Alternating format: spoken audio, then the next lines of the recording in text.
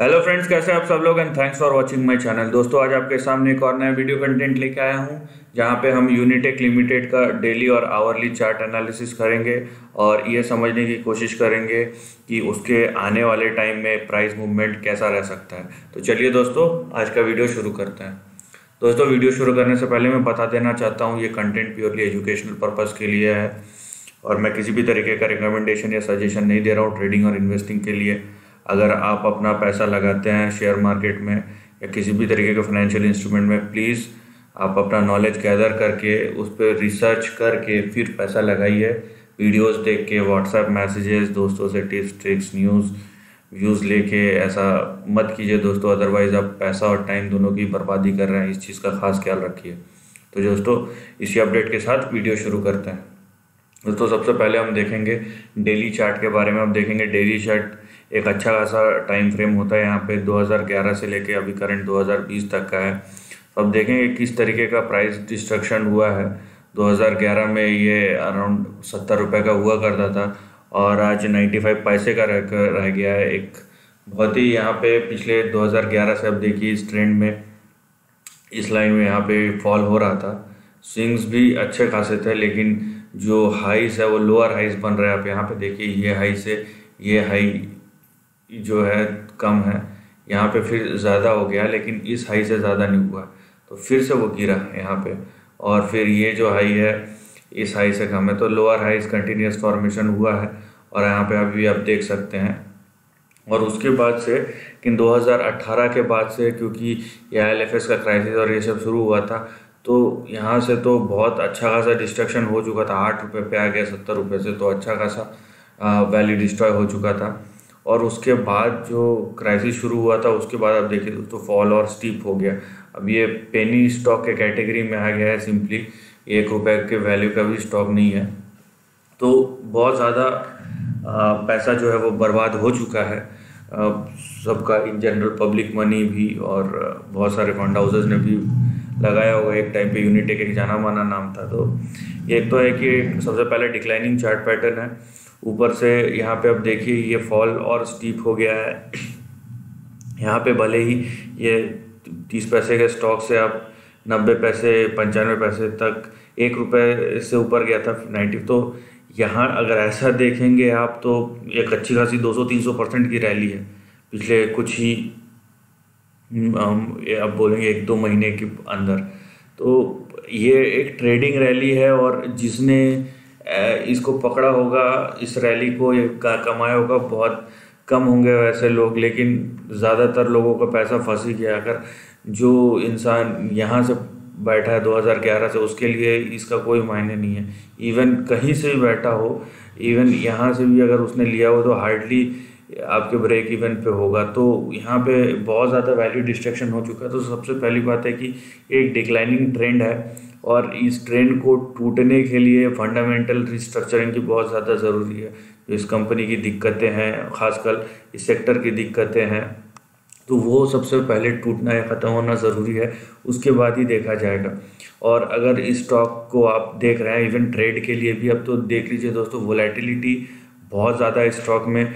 और तो अगर आप किसी भी तरीके से देख रहे हैं इन जनरल आपको अगर आप ये सब स्टॉक्स में घुसना नहीं चाहिए क्योंकि यहाँ पे जब सर्किट लिमिट्स लगने शुरू हो जाते हैं अपर या डाउन साइड में तो आपके पास ना खरीदने का मौका रहता है ना बेचने का मौका रहता है। तो सबसे पहला क्वेश्चन तो यही है कि अगर आपको नॉलेज नहीं है तो इस कम से कम इस टाइप के स्टॉक्स में जहाँ फंडामेंटल अच्छे हैं वहीं पे जाइए स्टॉक स्टॉक में न, न मत जाइए। और अगर आपको टेम्प्ट भी हो रहे हैं कि हाँ करना है तो प्लीज़ अब बहुत ज़्यादा रिस्क मैनेजमेंट आपको करना पड़ेगा, बहुत ज़्यादा डिसिप्लिन होना पड़ेगा। इन जनरल आपको डिसिप्लिन चाहिए इन्वेस्टमेंट के लिए भी ट्रेडिंग के लिए भी। खासकर ट्रेडिंग के लिए तो बहुत ज़्यादा डिसिप्लिन चाहिए। तो आप अपना समझ के उसके बाद ही कीजिए और बहुत ज़्यादा डिसिप्लिन के साथ कीजिए। तो ये तो क्वेश्चन है, क्योंकि पैसे तो आप कमा लेंगे, लेकिन पैसे गंवा दिए तो आपके पास पैसे गंवाने के पास बार बार पैसे नहीं आते। पैसे अगर आए हैं, उसमें से गंवाए, थोड़े नुकसान हो गए चलता है। लेकिन आपका पैसा अगर, जो आपका प्रिंसिपल अमाउंट है, वही गायब हो गया तो फिर उसके बाद बहुत दिक्कतें होती है। तो आप कॉशियस होके कीजिए इस टाइप के अगर ट्रेड्स आपको लेने हैं तो। यहाँ पे आप सपोर्ट रेजिस्टेंस की बात करें, आप देख लीजिए। यहाँ पे ये एक रेजिस्टेंस जोन था, उसके बाद ये टूटा है, फिर यहीं पे सपोर्ट लेके ये ऊपर जा रहा है। तो सबसे पहला रेजिस्टेंस उसके बाद यही बन जाएगा इसका जो लास्ट जो हाई था, वो एक सवा रुपये के आसपास का था, वही बन जाएगा। उसके बाद फिर देखेंगे कि यहाँ से, यहाँ पाँच रुपये तक भी जाना तो ये चार सौ परसेंट का मूव है। लेकिन ये उसके बाद देखा जाएगा। लेकिन मैं फिर से बताऊँगा दोस्तों, ये हो सकता है ये मूव करे यहाँ तक, कोई बड़ी बात नहीं है। लेकिन उसके लिए कंपनी के फंडामेंटल्स भी उतने स्ट्रांग होना चाहिए, कुछ चेंज दिखना चाहिए और अगर ट्रेडिंग रैली भी है तो आप बहुत ज़्यादा डिसिप्लिन हो, क्योंकि इस टाइप की रैलीज अगर मान लीजिए मैं कंसिडर करता हूँ, यहाँ तक भी जाता है तो ये सर्किट टू सर्किट भागेगा। फिर आपके पास कोई ऑप्शन ही नहीं रहेगा, क्योंकि बेचने वाले कोई नहीं रहेंगे, बस खरीदने वाले रहेंगे। और आपने टेम्प्ट होके मान लीजिए कि अगर मैं कंसिडर करता हूँ, यहाँ तक जाएगा तो इस बीच में कहीं खरीदा, आपने थोड़ा बहुत प्रॉफिट होगा, उसके बाद जब गिरना शुरू होगा, आप निकल नहीं पाएँगे। तो ऐसे टाइप के प्रॉब्लम्स हो सकते हैं।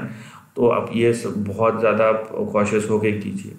ये तो दोस्तों डेली चार्ट के बारे में बता, आप थोड़ा और शॉर्ट में आते हैं, ये आप देख लीजिए आवरली चार्ट का है। आप देख सकते हैं यहाँ पे ये कैसे यहाँ पे ये वाटरफॉल चार्ट पैटर्न है, आप बोल सकते हैं, या फिर यहाँ पे स्टेयर केसेस बने हुए ऊपर की तरफ़ भी, नीचे की तरफ़ भी। तो आपको समझ में आता है कि किस तरीके का यहाँ पे जो शेयर ट्रेडिंग होता है। आप ये सब चार्ट पैटर्न दोस्तों अच्छे नहीं होते, क्योंकि आप देख लीजिए कि यहाँ पे ऐसा है कि कुछ लोगों को पता है और वही मूवमेंट कर रहे हैं और लोगों का पैसा खींच रहे हैं।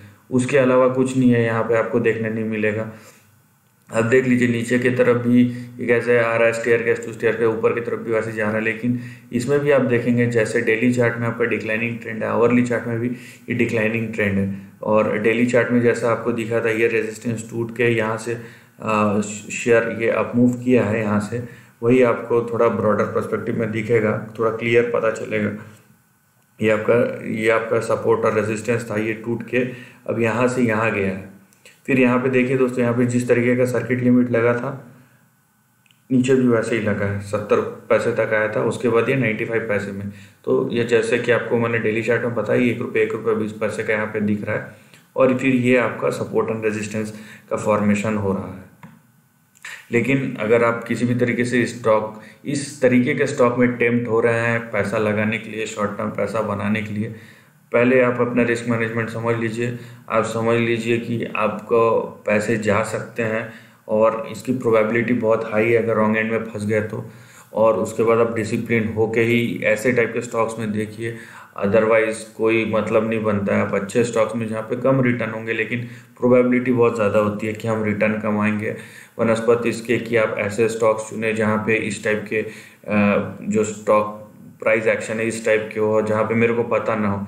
ये बहुत ही रिस्की ट्रेड है और पैसा कमाना दोस्तों एक बहुत बोरिंग गेम है। अगर मैं एक्साइटेड वो कोई ऐसा क्योंकि आप देखिए, पैसा जिन लोग कमाते हैं ना, उन लोग एक टाइप की एक्टिविटी करते रहते हैं और शांत से बैठे रहते हैं। इतना ज़्यादा हंगामा नहीं करते कि चीज़ों को देख के टेम्प्ट होना। चीज़ों को देख के टेम्प्ट होना आपको लगता है कि आपको पैसे दे सकता है, लेकिन ओवरऑल अगर आप पूरा गेम को समझेंगे तो पैसे उसमें जाते हैं आने से ज़्यादा। तो ये चीज़ आपको समझनी चाहिए और इस चीज़ का खास ख्याल रखना चाहिए। दोस्तों, इसी अपडेट के साथ मैं ये वीडियो ख़त्म करना चाहता हूँ एंड आई होप आपको ये वीडियो इन्फॉर्मेटिव लगा होगा और कुछ जानने और सीखने को मिला होगा। और अगर ऐसा है तो प्लीज़ मेरे वीडियो को लाइक और शेयर कीजिए और अपने थॉट जो है कमेंट सेक्शन में लिख के ज़रूर बताइए। और ऐसे ही नए कंटेंट के लिए मेरे चैनल को प्लीज़ सब्सक्राइब कीजिए। And lastly take care of your family and friends